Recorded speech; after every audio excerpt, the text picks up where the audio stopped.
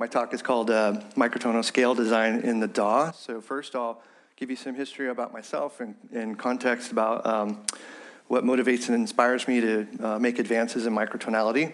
Uh, and I'll share with you some, um, uh, uh, some recent advances, fairly recent, uh, that have really, really reduced the friction of using microtonality to tune up multiple software synthesizers in a DAW, which is a very, very exciting long time coming uh, sort of advancement. And then finally, wish me luck. I'm going to try and do some musical demos. I'm not going to play you beautiful like songs or anything, but I'm going to show you some really novel uh, microtonal scale designs that maybe you haven't seen. And I hope it blows your mind. So, a little bit about me. Um, my first career was a 3D computer graphics artist at Disney. I worked on many animated features such as Lion King, Aladdin, Pocahontas, Hercules, et cetera, et cetera. And uh, I was a software engineer that basically made art. And uh, every film, uh, I'd have an R&D budget, and it was my job to come up with a unique look for a film that made it different from other films. So I worked very closely with art directors. Art directors uh, typically are background painters, and the very first thing I noticed working with them is almost every one of these uh, folks had some kind of book about uh, color theory and how to, you know, make palettes, visual palettes, and um, uh, I've always been a musician, always been making music, and it kind of struck me like, how, how, come I don't have something like that? I just got these black and white keys on a keyboard, and uh, you know these guys are just that's what they do all day long. Uh, and so they would map out the emotional arcs of films. Uh, so you know, movies are like Disney is like a hero journey, right? So maybe in the beginning it's happy, and so there's like a beautiful blue and yellow and green, and and they would just paint just lines with colors, and uh, those were cues for everyone on the team to understand like this is the emotion that we're going for in this moment. Uh, and then maybe as you go through the story, maybe something traumatic happens, and there's, there's, a fight, and it's anger, and there's a lot of red, red, red, red. Uh, and so I became very sensitive to um, just you know color, but also just the, the idea of I'm going to take you on an emotional journey. And as I was making music at night, um, you know these kind of two things kind of became conflated. Uh, so it's very important when you're making an animated feature, and of course many software projects, that uh, you know you, you do do things with intention and these things need to be reproducible and they need to be editable. So if I capture a, an amazing performance, I need to be able to edit it. And if I want to change my mind a year later, I need to become, be able to come back, bring it back up, tweak it, and re-render it. So that was also kind of baked into my DNA. Uh, and that's one of the reasons why I like working in DAWs like so much. So when I make music, my creative process is in a DAW, as opposed to say uh, like the iOS ecosystem where it's very performance based, but you don't have quite the professional DAWs that you have on a desktop. Uh, I'm just going to keep going. So, what is microtonality? So, um, I'm going to give you, I'm going to have two slides on this. I'm going to come at it a couple different ways. So, uh, Johnny Reinhard is the director of Microtonal University, which is a branch of American Festival of Microtonal Music. This is his definition. He says all music is microtonal music cross-culturally. So you guys may not know this, but you're, you're all microtonalists. Uh, 12 tone equal temperament, which I'll just say 12 ET from now on, and you're all engineers, so I know you like acronyms, uh, is in itself a microtonal scale, only it enjoys exorbitant attention and hegemonic power. Um, so we focus on the other tuning arrangements, and I highlighted the word arrangement because I'm going to get more into that. Um, and so uh, my definition of microtonality is, you know, we, we design scales um, and, and the whole idea behind it is you're arranging pitches in a, some kind of sequence. now, in the context of a DAW, that almost always comes down to 128 MIDI note numbers and mapping them to uh, frequencies. Uh, when you design scales, um, you trade off between melody and harmony. Scales, uh, there's very few scales that do both together. I think 12 ET is one that does. Uh, but as you start designing other scales, you're like, eh, melody's good, where's my harmony, blah. And uh, the most important thing I want to say about uh, microtonality is I feel like when you play with these scales, I feel like your, your ears are hearing pitches, but what's really happening is your mind is reconstructing the, the geometry or the structure behind that scale design. And I think that's the magic of microtonality. Um, so that's, that's why I love it. And um, again, it's just, uh, just tying it back to the Disney experience. Uh, when I design scales, I, I, I, use interactive tools, and I'm literally pinpointing emotions in my brain, hopefully your brain as well. So I'm actually sitting there moving the needle and go, ah, that one. Oh, yeah, that and I'm building a constellation or a palette of emotions. So um, that's my approach to uh, microtonality. Uh, some more context before we start getting into the, the good stuff. Uh, Erv Wilson was a famous microtonalist. Um, he uh, was, well, his co- colleagues described him as one of the most intuitive mathematicians. Uh, this guy would find musical uses for mathematical objects um, that you know had, had never been done before. And so basically using math to make art, you know, aesthetics. Um, he describes his designs as organic. Um, and so you'll see lots of uh, organic, like farming kind of uh, themes throughout uh, Wilsonic. And then also fractal, because many of his designs are self-similar and they're built recursively. Um, I have a link here, I'll show these slides later, um, that goes into detail about this conflation of uh, Disney, my time with Disney and time with Erv Wilson, and how that uh, influenced me. Oh, I kind of jumped to this slide too fast. So I've been making microtonal music in a DAW, uh, I like Ableton Live, uh, since 1996. And let me tell you, it is freaking hard. And I think that's why um, there's just there's not that much uh, microtonal music uh, or, or, not enough musicians uh, have access to it uh, up until relatively recently. So um, incredible friction, just really huge barriers to entry. So most software synthesizers didn't respect the MIDI tuning standard. Most software synthesizers don't uh, take Scala files, which is like an old ubiquitous uh, tuning uh, file format. And even those that do, if you're a composer and you have to, and you got 20 software synthesizers and you want to change the scale, you got to sit there and change it, and, uh, and, none of that could be automated. It's just, it's just awful. Um, ODDSound uh, released a technology called MTS ESP, and this completely lowers the, the, the floor. It's, it's amazing. Um, I can't read that number, it's so big, but um, Richard James of Aphex Twin was a big supporter of the, the project. And, uh, you know, you've got 63 billion or whatever, some, the, the biggest double that you have more frequencies to, to play with.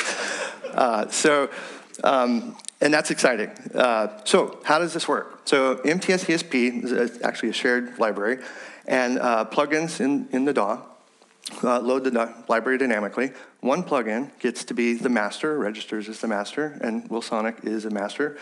Uh, and it, it is responsible for owning the global tuning state. Uh, so it owns the tuning table, the 128 MIDI note numbers to frequency mapping. The other plugins, if they support MTS ESP, they register as clients. And so they just, um, you know, pull the master for, hey, what, I'm playing this note, what, what should its frequency be? Super lightweight API, very easy to integrate. Um, very low risk uh, if, if your soft synth supports MTS ESP in your client and there is no master, nothing bad happens. You fall back on 12 ET, so it's all good. Um, there is no MIDI uh, communication that's not necessary, and there's no special routing in the DAW. So again, just you just put them in there and it just works.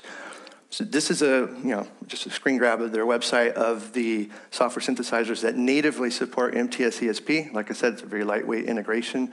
I'm begging you all to put it into your synthesizers. Please, let's grow this list.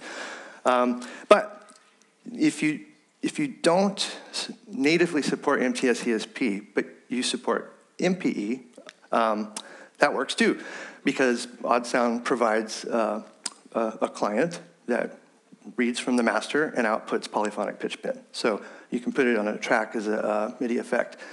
Um, and there's some free options as well. So again, I'm begging you, put it in your software synths. So microtonality is more accessible than ever. There's a lot of free solutions. Uh, so you know, you got to pay for the laptop, maybe uh, MIDI interfaces, but there's a lot of free software synthesizers that support it, and there's free DAWs, so um, it doesn't have to be expensive anymore. All right. so um, this is Wilsonic. It's free. It works on Mac and Windows. Still in beta. I'm just getting it up to par with the iOS version. Um, all of the parameters are automatable in the DAW. And this is a big deal because most of these scale designs that I'm talking about, um, the, the design itself has parameters that changes the nature of what you hear. And to be able to um, automate that in the DAW means you can, you know, reproduce and edit your performances. Um, so, and then also you'll notice uh, when I get to the demos, uh, there'll be a microtonal keyboard at the bottom. It displays metadata. Each pitch displays metadata on how that note was actually created. Um, keys are colored by pitch, again, harkening back to uh, those art director, you know, abstract color scripts. And then the other thing that's really cool is uh, in real time, uh, this is very lightweight computation. Um, um, no matter what scale is being played, I can analyze it for certain types of aesthetics. So, for example, in mathematics, there's uh, arithmetic, arithmetic means, harmonic means, geometric means. These, are, these uh, aesthetics, uh, a lot of people have looked at visually, but they actually work for music as well. And so in real time, we'll actually go in and go, ah, here's a, here's a triad, here's another one. And you'll see that on the keyboard in uh, the demos.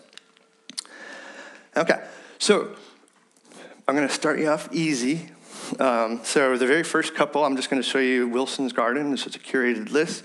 If you're not into scale design, you don't want to make your own scales, but you're interested in just tuning up all your synths to a cool scale, like the, the, these first two are for you. And then Scala file support, that's a legacy tuning uh, format, so it's very important to support that. And then um, once we get past that, I, I, might lose some of you, I don't know. I hope you find it as awesome as I do, but we'll see. So I'm going to show you three amazing scale designs. I only got seven minutes left, so I'm going to get to it. All right, so curated scales. Um, so Erv Wilson, um, a lot of folks spent a lot of time with him. I spent a lot of time with these folks, Kraig Grady, Stephen James Taylor, Jose, Gary John Blah. So we've all contributed to this huge uh, uh, library of curated scales. Um, and so I will show you what that sounds like. Time to wake up. Someone knew that I was going to geek out at this point. Okay, so this is Wilson's Garden. This is Wilsonic. It's in Logic. Uh, I'm a live guy. Uh, my computer died. Thank you, Ari, for loaning me your, your laptop. Uh, these are all the scale designs. Uh, in Wilson's Garden, there's a whole lot of presets. Some people tell me I put too many in there, but I think they're, I love them. And so I will, I'll start you guys off with some archetypes. So um, so uh, the harmonic series, harmonic series occurs in nature. Any kind of string uh, resonates with uh, modes of harmonics. Um, and uh, also air in a cavity that's resonating, like a flute, something like that. So uh, harmonics are kind of, I, I think we co-evolved with them. Uh, so they're very, yeah. Okay, so if this was, so this is, um, I know the number says two, but it's the, second and third harmonics, and that kind of sounds like a, you know, that, that's a fifth. Um, if you invert that, this is called the undertone series, uh, sounds like this. Uh, like a fourth, right? Now, but we can keep going. So as we go further and further down the harmonic series, oh, this is combining but here. So th- now we're going to go to a mode where there's uh, three harmonics. So.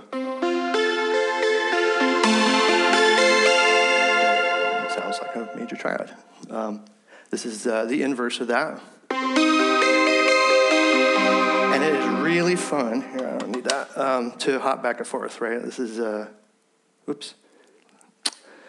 Oh, Logic. Okay, sorry, I can't show you because Logic won't let me uh, use my keys the way I want. So let's just keep going. This is uh, a tetrad. So this is uh, the fourth mode of harmonics. And this is the inverse. So that doesn't sound weird to me. That sounds freaking gorgeous. Uh, now, these, these keep going. You can combine them. You can do any kind of order. I'll go to the pentad and I'll stop and move on because I only have five minutes left. So uh, this is the pentad. So yeah, it's starting to get a little more complex. It's getting you know, further and further away from those very simple things that we've heard. 12ET actually does a pretty good job doing uh, those first, uh, you know, the, all the way up to the tetrad. So um, that's one of the reasons why it just works. Um, okay. So, anyways, if you just want to explore, I got you. Uh, the other thing I'll show you is Scala files. Um, Scala files, uh, there's a massive online archive. I bundled it for you. Here's 5,000 Scala files right here for you. yes. And this is automatable in the DAW too. So you can say, ooh, I like uh, scale number 1,800. Uh, and and that could that's actually you know an automatable parameter. So you could actually have scale progressions in your song. And again, harkening back to Disney art director like color scripts, emotional arcs of a story, that, you know, you could build up some really cool, you know, you could take people places.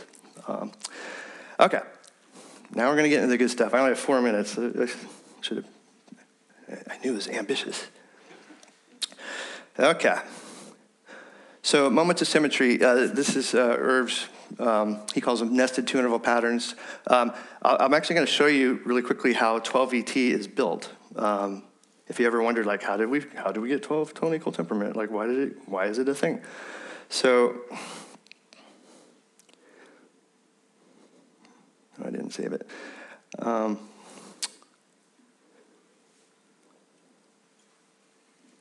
bear with me, folks. It's going to be so worth it. Okay. So the way this works is I'm going to start with uh, the octave. I'm going to start with a fundamental, and I'm going to go to the second harmonic of the octave. So, so um, that's my, my period, uh, or you know, that, that's the interval of which I'm going to uh, start subdividing. If we subdivide it by a fifth, which is actually the third harmonic, you get this. Sounds familiar, right? Um, now here's the thing.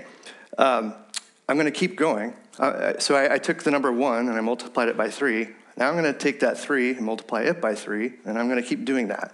And that geometry is a chain, right? So, so that structure that you're hearing is actually a chain of, of an interval.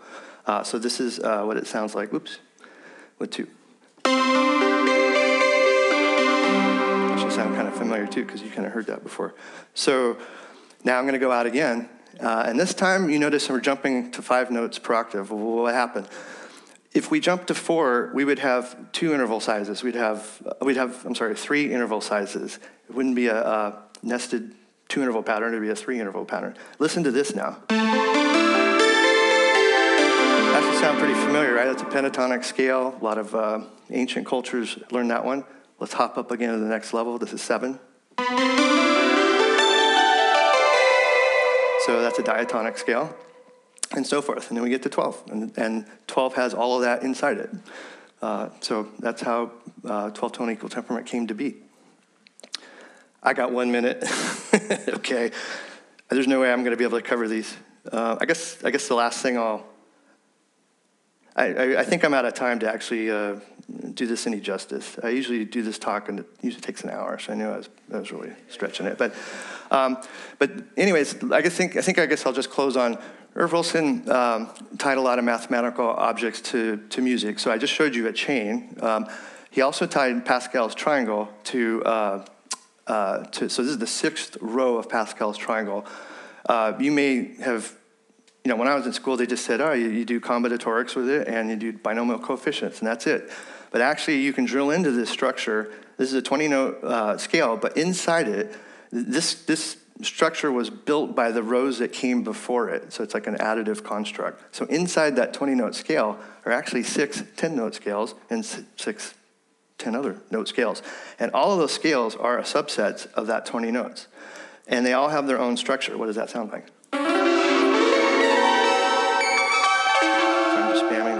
Now. But check this out. That's row five of Pascal's triangle. As you keep going, whoa, too far, too far.